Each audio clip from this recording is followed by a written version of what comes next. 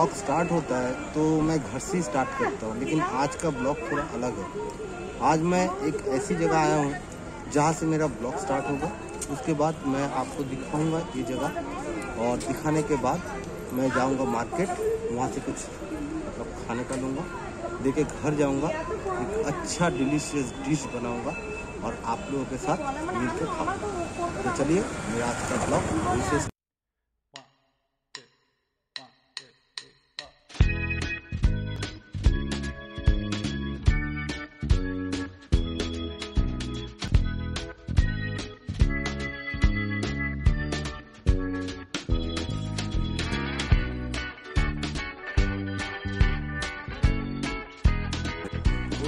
Guys मैं आया हूँ आज पाटुली फ्लोटिंग मार्केट जो कि गड़िया में है।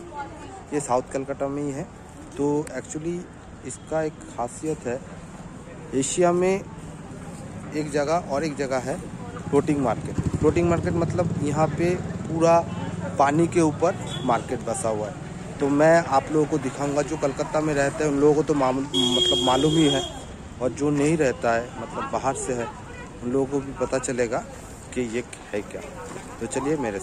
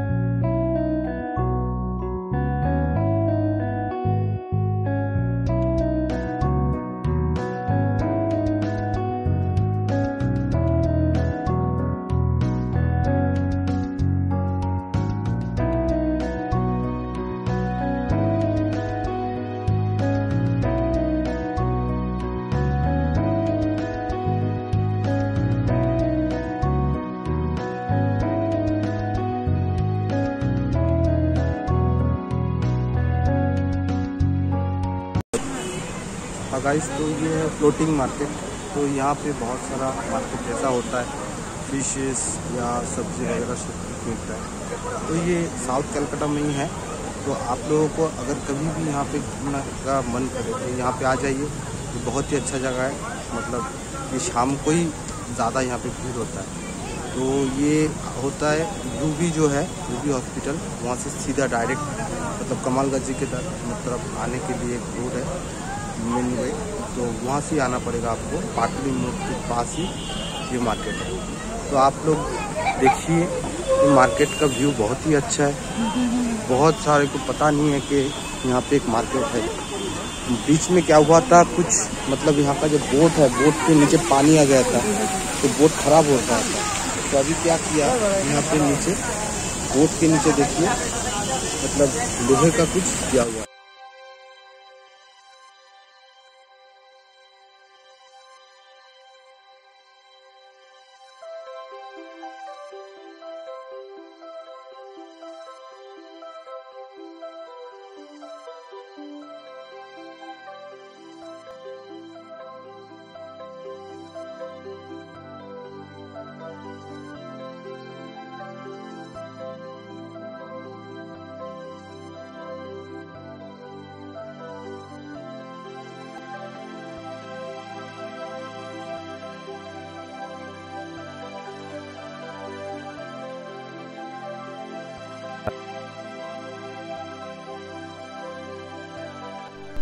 यहाँ पे सामने देखिए बैठने का भी जगह भी बनाया गया है और लाइटिंग भी बहुत ही अच्छा है और सामने देखिए हम लोगों का जो सबसे खूबसूरत ब्रिज जो अंग्रेज़ों ने बनाया था, उसी का ही डुप्लीकेट छोटा सा हावड़ा ब्रिज बनाया गया है और ये जो जगह है, ये एकदम ही बाईपास के पास ही है। और बहुत ही अच्छा जगह है। आप लोग आइए और घूम के जाइए। मुझे लगता है सबको ही अच्छा लगेगा। बहुत ही लाइटिंग अच्छा दिया हुआ है। और सामने जो आ रहा है, ये है ईस्ट बंगाल और मोहन बागान प्लेयर्स विथ अ फुटबॉल जो कि ये कोलकाता का शान है। दोनों ही क्लब ईस्ट बंगाल है।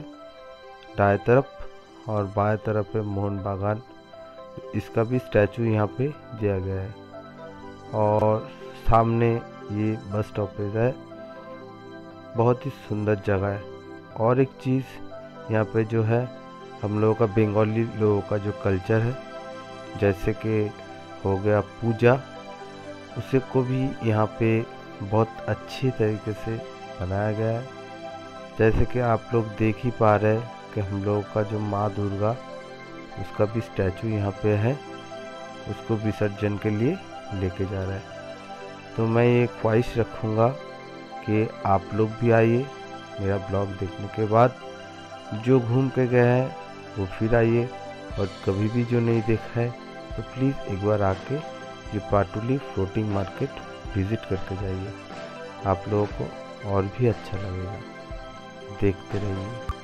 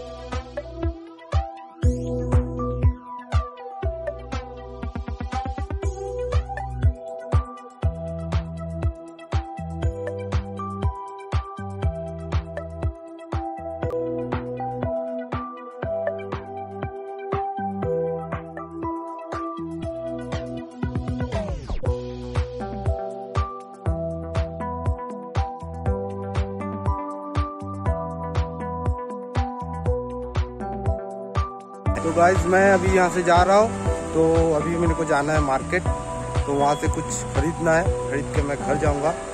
और स्टे विथ मी क्योंकि अभी आने वाला है डिलीशियस डिश पता नहीं आप लोगों को कैसा लगेगा, फिर भी कोशिश कर रहा हूँ आप लोगों के साथ मिलकर ही बनाऊँगा थैंक यू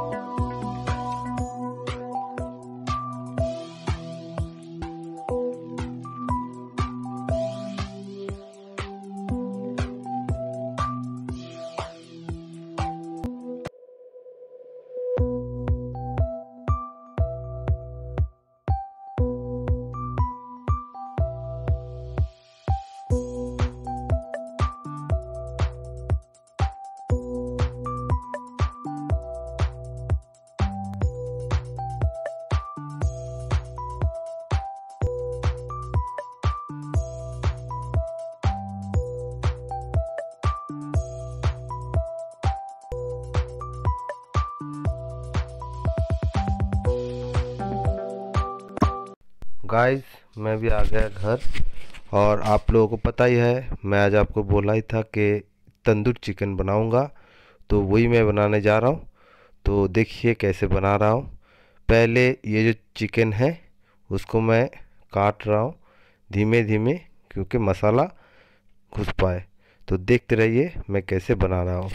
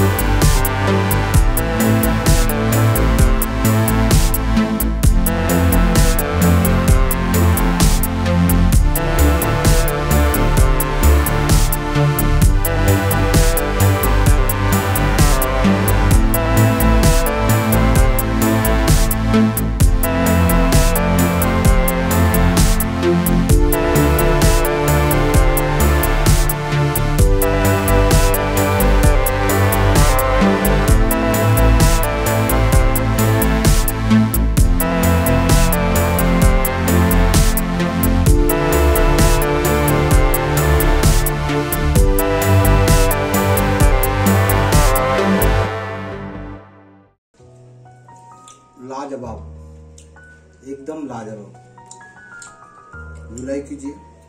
आप भी घर पे बनाइए। एकदम दुकान के जैसा ही हुआ है। और इसमें स्मोकी फ्लेवर भी है क्योंकि तो मैंने आखिरी बार डाला था कोयल तो इसी की वजह से बहुत ही अच्छा टेस्ट लग रहा है। तो आप भी घर पे ट्राई कीजिए।